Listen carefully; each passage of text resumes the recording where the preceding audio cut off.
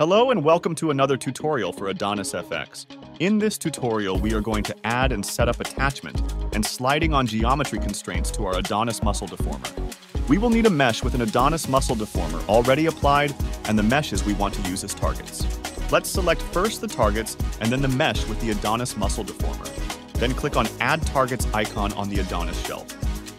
Let's play back now. As you can see, the muscle falls down due to gravity. By turning on the debugger, we will see that we have not any attachment connections yet. This is because we haven't yet paint the attachment maps, so let's do that. Let's open Adonis FX Paint tool by clicking on the Shelf button. Select Attachments to Geometry Map and paint the values for each of the targets.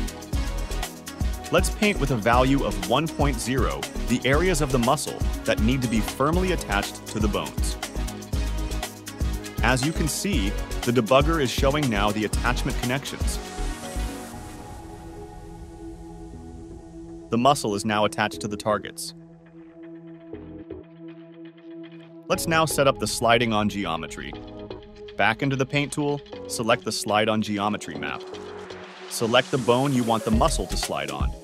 Then paint the areas that should slide along the selected target. Despite providing the sliding weights, constraints are not created yet. This is because we have to configure the max sliding distance. So let's move on. Maximum sliding distance is represented in scene units.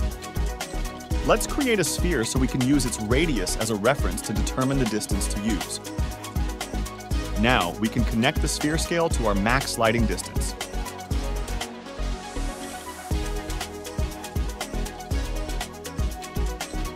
Thanks to the debugger, we can visualize how the back part of the muscle is sliding over the chest.